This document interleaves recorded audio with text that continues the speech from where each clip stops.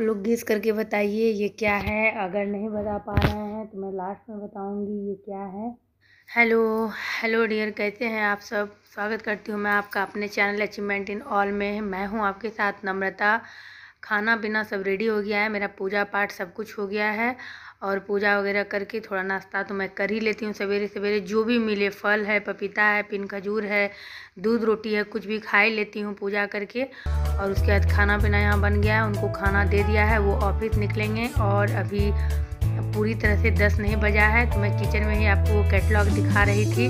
आगे बताऊँगी वो क्या है और क्या चीज़ बनने के लिए, बनाने, बनवाने के लिए सोचा है। तो यहाँ पर जब तक वो खाना खाएँगे, तब तक जितना किचन बिखरा हुआ है मेरा, उतना देर में मैं ये सारा किचन क्लीन करूँगी, क्योंकि करना मुझे ही है। शाम में फिर मैं खाना बनाने आऊँगी और अभी मेरे साथ क्या हो रहा है? मेरे साथ नहीं, सबके साथ ऐसा होता होगा कि एनर्जेटिक हम लोग जब सुबह उठते हैं बिल्कुल एनर्जेटिक फील करते हैं, लेकिन दो तीन बजे के बाद, चार बजे के बाद मेरी स्थिति वो होने लगती है, बिल्कुल मैं स्लो होने लगती हूँ। और फिर और फिर लगता है क्या कि जैसे लोग कहते हैं, दोपहर में दो घंटा आराम करिए, फिर आप फ्रेश महसूस करिएगा। मेरे साथ ऐसा नहीं होता है। मैं लगातार करती हूँ और चार पाँच बजे के बाद मैं बिल्कुल सुस्त होने लगती हूँ। और पहले तो मैं हमेशा खड़ी रहती थी, लेकिन ये जब से बाबू हुई तब से ऐसा हो रहा है। तो पाँच बजे के बाद मुझे लगता है बस मैं अब लेटी ही रहूँ। लेट कर मोबाइल चलाऊँ या लेट कर टी देखूँ, बस फिर उठूँ नहीं। लेकिन अगर मैं सो जाऊँगी तो फिर मैं उठ नहीं पाऊँगी। यहाँ तक कि एक छोटा सा काम कपड़ा फोल्ड करना भी मेरे लिए मुश्किल हो जाता है पाँच छः बजे के बाद। अभी फ़िलहाल मेरे साथ ऐसा ही हो रहा है, लेकिन सुबह मैं बिल्कुल एनर्जेटिक रहती हूँ।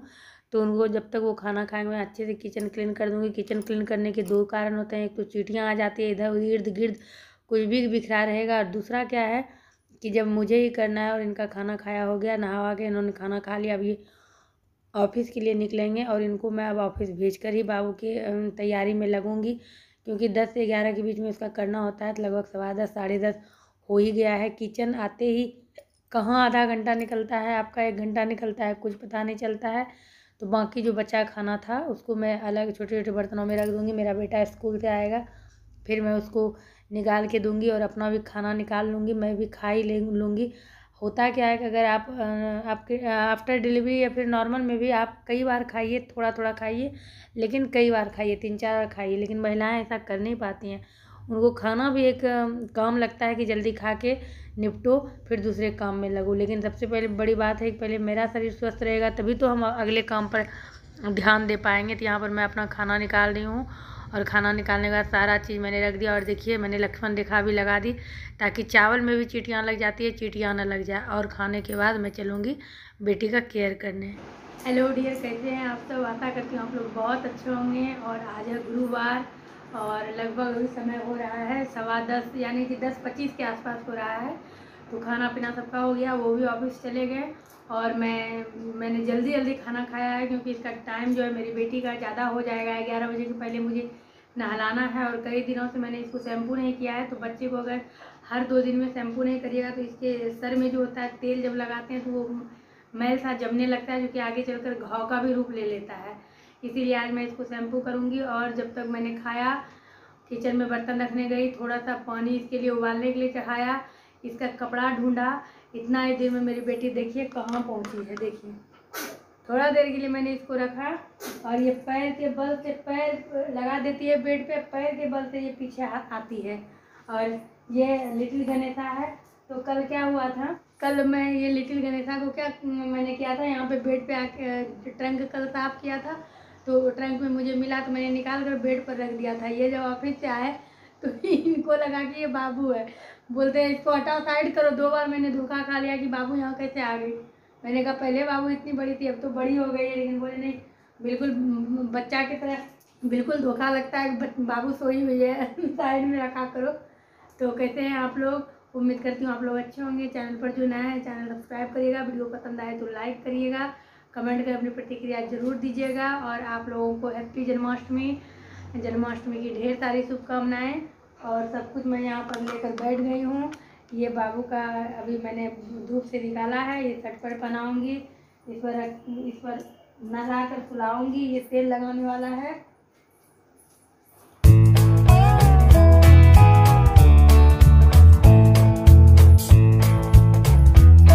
और यहाँ पर दूध वाला तब तक दूध लेके आ गया, उसका भी टाइम उनका भी टाइम दस से साढ़े दस होता है। तो मैं लगे हाथ दूध भी गर्म कर लूँगी। अब देखिए, काम पर ही काम होता है। आप सोचेंगे कि मैं रुक जाऊँ।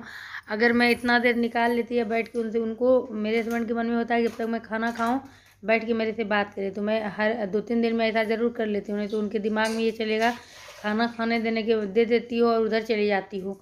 इसीलिए मुझे लगता है चलो आज वो ज़रूरी न्यूज़ देख रहे हैं। या उनका स्टोरी आ रहा है तो मैं फटाक से दूसरे कामों में लग जाती हूँ। और देखिए, इतना देर में मैंने ये सारा काम कंप्लीट कर लिया, अपना भी खाना पीना हो गया। और अब दूध को चढ़ा दूँगी कम करके, और दूध में तेज़पात मैं ज़रूर डालती हूँ, नहीं तो दूध से स्मेल आती है। तेज़पात को धोकर डालने से आपको फ़ायदा भी करता है, और आपका स्मेल भी नहीं आता है। तो ऊपर अगर छोड़ती हूँ, ऊपर में ऐसी होता है, नीचे छोड़िए, नीचे में ऐसी होता है। इस तरह से चलते रहता है, हर काम को आपको हर दिन टच करना होता है, इसीलिए रूटीन बना लीजिए।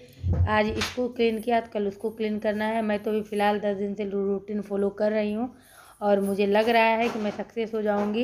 इक्कीस दिन तक अगर इस रूटीन पर चल गई, तब तो कामयाब हो जाऊँगी। मैंने कम करके दूध रख दिया है और खिड़की लगा दी था क्योंकि बिल्ली वगैरह नहीं आ जाए।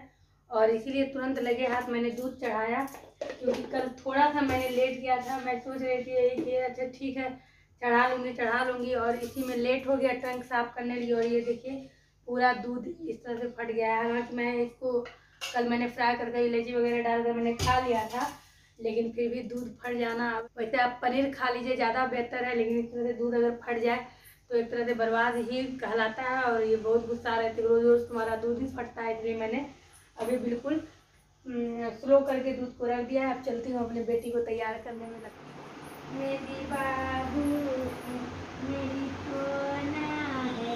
मेरी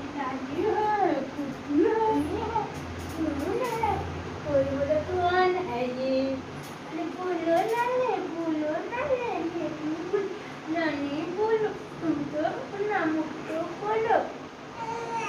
बुझ गई क्या?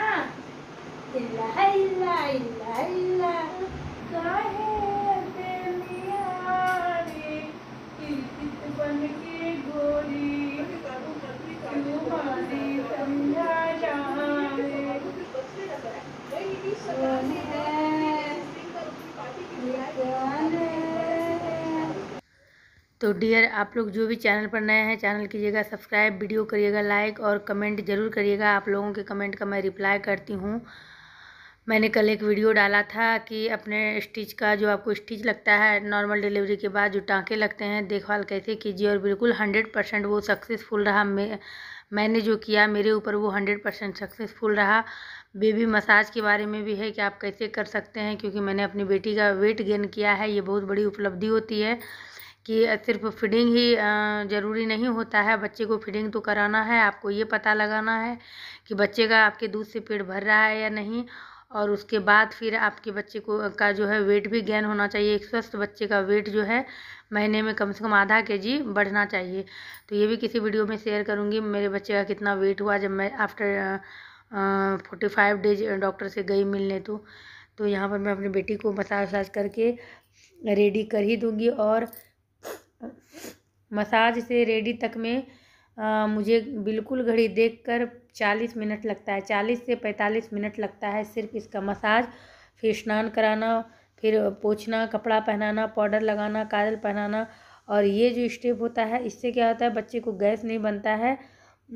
पूरा उसका जो पेट दबाता है और पूरा गैस उसका बाहर हो जाता है, गैस नहीं बनता है। और बच्चे के सर में तो तेल देना ही देना है, सुबह उठ के पहले तेल ही देना चाहिए। पहले तो हम लोग सरसों तेल का यूज़ करते थे अभी तो डॉक्टर ने नारियल तेल कह दिया है। लेकिन मैं कोहलू का भी तेल दिया करती थी तब जब इसे सर्दी खांसी नहीं था और रोज़ स्नान कराती थी। अभी तो दो दिन से गर्मी है तो स्नान करा रही हूँ। बीच में इसको सर्दी खांसी इतना था स्नान नहीं करा रही थी। तो सर से नहीं करा रही थी, कभी फेस से करा रही थी तो नारियल तेल पे उतार दिया क्योंकि वो सरसों तेल से फिर ज़्यादा ही जम जाता है सर में मैल। अब फेस पर भी मसाज ज़रूरी होता है, बच्चे दूध पीते हैं तो इसके होंठ के पास ऊँचा हो जाता है। तो मैं ये बिल्कुल गहराई से एक वीडियो शेयर करूँगी। और इसको रेडी कर कि कैसे आप मसाज कर सकते हैं बच्चे के फेस पर। और इसको रेडी करने के बाद मैंने उसको वहाँ पर लेटा दिया है। अब यहाँ पर मैं बेड ठीक कर लूँगी और बेड ठीक करने के बाद बेटी को यहाँ लेते आऊँगी और फीडिंग कराने के बाद बेटी को सुला दूँगी। और सुलाने के बाद कुछ कपड़े भी हैं जो कि मशीन में मैंने डाला हुआ है। और अब पहले मैं क्या करती थी खड़ी होकर एक काम को कंप्लीट कर लेती थी, कपड़ा धोना। अब मैं ऐसा नहीं करती हूँ क्योंकि पैर में बहुत ज़्यादा ही दर्द होने लगता है, जबकि दो कैल्शियम, एक आयरन चल रहा है फिर भी। तो बाबू को सुलाने के बाद आप समझ सकते हैं, साढ़े दस, पौने ग्यारह, उसके सेवा में मैं लगी। तो आधा घंटा, पौने घंटा लग गया, यानी कि साढ़े बारह तक उसके पीछे लगी रही। सुलाने में उसको एक से डेढ़ बज गया, कुछ कपड़ा मशीन में डाल दिया है और सुलाने के चक्कर में थोड़ा किसी से बात भी करने लगती हूँ और मोबाइल भी देखने लगती हूँ। यहाँ पर अब मैं दूध और जीरा पाउडर ले लूँगी। क्योंकि अभी मैं जीरा का वो नहीं बना पाई हूँ तो जीरा को भून लिया है और पाउडर उसमें बना लिया है। थोड़ा सा ड्राई फ्रूट्स डालकर तो वो भी आपके लिए काफ़ी फ़ायदेमंद होता है, दर्द भी दूर होता है और ब्रेस्ट फीडिंग बॉब के लिए ये बिल्कुल सही है। मिल्क प्रोडक्शन काफ़ी अच्छा होता है इससे।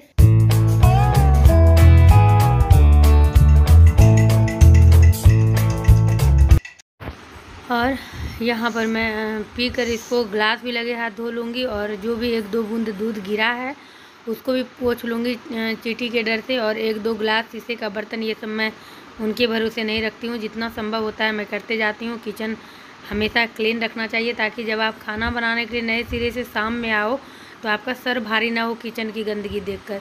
तो चलिए अब लगते हैं दूसरे कामों में। तो यहाँ पर जो मैंने बाबू को भी स्नान कराया तो बिना साफ़ किए ही उसको सुलाया। सुलाने के बाद आ गई अपना, मैंने दूध वगैरह पिया। अब यहाँ पर मैं क्लीन करूँगी। और क्लीन करने के बाद जो है, आज मैंने सोचा है, आज मेरी बेटी का दो महीना हो गया तो मैं कुछ स्पेशल पिक अपनी बेटी का फ़ोटो शूट करूँगी। तो इसीलिए यहाँ पर मैंने इसको कर्टन को लगाया है। बैकग्राउंड अलग अलग कलर से आप लगा सकते हैं। तो इसमें मैं विशेष कुछ शेयर नहीं करूँगी। अगर आप लोग कहेंगे तो मैं स्पेशल वीडियो शेयर करूँगी। और इस तरह से वाइट ड्रेस में इस तरह से सारा चीज़ मैंने खुद से बनाया है। और यहाँ फ़ोटो शूट वगैरह होने के बाद मेरा बेटा भी फ़ोटो शूट होने, होते समय ही स्कूल से आ गया था और खाना पीना खा के हम लोग सब आराम करने चले गए थे। बेटा भी, बेटी भी, मैं भी थोड़ा देर आराम मैंने भी किया, उसके बाद बेटा को उठाया बॉर्ड बिठा दिया। अब वो होमवर्क करने पर लगा है और लगभग अभी शाम के साढ़े पाँच, छः हो रहे हैं। तो मैं बैठे बैठे सारा कपड़ा फोल्ड कर लूँगी। कपड़ा सूखते जाता है उठा उठा कर टप में रखते जाती हूँ। ज़रूरी नहीं है कि रोज़ ही मैं फ़ोल्ड कर लूँ। अगर आज नहीं कर पाई तो फोल्ड करके इसी तरह टप में रख के मैं ट्रंक पर रख देती हूँ। अगले दिन करती हूँ, क्योंकि कपड़ा चारों तरफ़ फैल जाता है और कोशिश करती हूँ क्या कि जिस दिन उठाऊँ, उसी दिन फ़ोल्ड कर लूँ। लेकिन बेडशीट वगैरह जिस दिन धुलती हूँ, उस दिन उतना नहीं हो पाता है तो मैंने लगा दिया है प्रवचन। यानी जो कथा होता है, कृष्ण कथा, राम कथा, और बेटे को होमवर्क करा रही हूँ। और उसके बाद यहाँ पर मेरा बेटा पीठ में पाउडर लगा रहा है क्योंकि बोला, बिट्टू, बहुत पसीना आ रहा है। मैंने कहा, बेटा, पसीना में पाउडर नहीं लगाते हैं क्योंकि बहुत ही बेहिसाब गर्मी है। तो उसने पहले पोछा है, सूखे कपड़े से फिर पाउडर डाला है। जितना उससे संभव है, बेचारा बहुत मेरा केयर करता है। और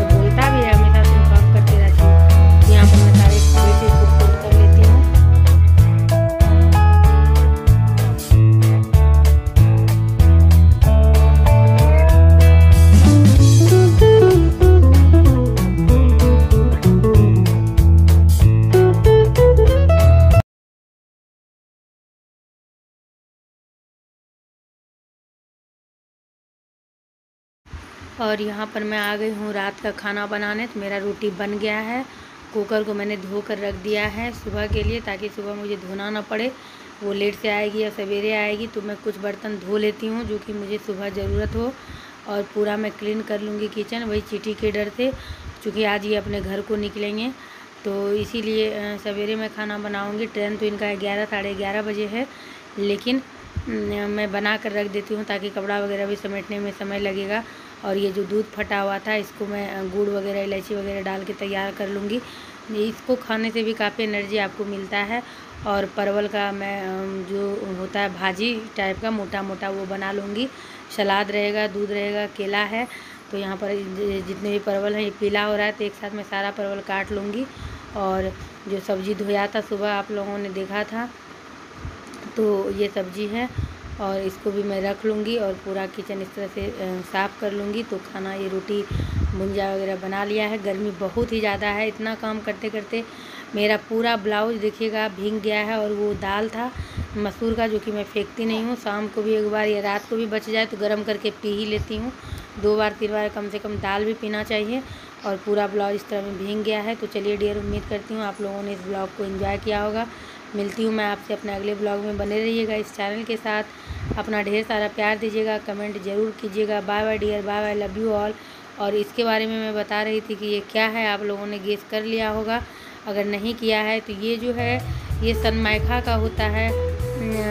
इसको कैटलॉग होता है कि अगर आप कोई चीज़ बनवा रहे हैं तो उसमें कौन सा आप सनमाइखा लगा सकते हैं। तो कुछ एक ग्लॉसी वाला सनमाइखा होता है, उसमें स्क्रेच आ जाता है। मैं स्क्रेच वाला बिल्कुल लगवाना नहीं चाहूँगी, क्योंकि अभी एक बच्चा बड़ा है, दूसरा बच्चा बड़ा होगा तो दोबारा ये पेस्टिंग नहीं होता है। तो मैंने साधारण सा ही चूज़ किया है। दो कलर मैंने चूज़ किया है, अगर एक ना मिले तो दूसरा। तो क्या बनवा रही हूँ, ये भी मैं बनने के बाद ही अगले वीडियो में शेयर करूँगी। Bye bye, dear bye bye. अपना ध्यान रखिएगा।